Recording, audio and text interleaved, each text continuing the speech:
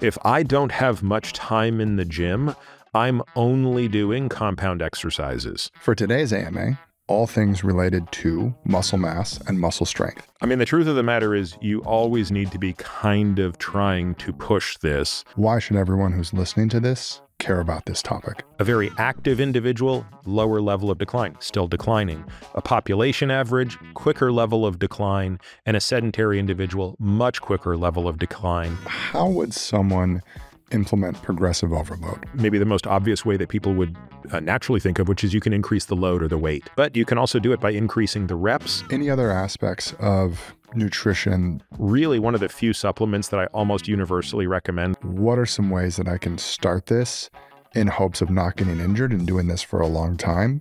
Act as though you've never done this before. Focus on injury prevention. What does some programming look like for them, and how could they take that information to a gym. Thank you for viewing this sneak peek of an Ask Me Anything episode of The Drive.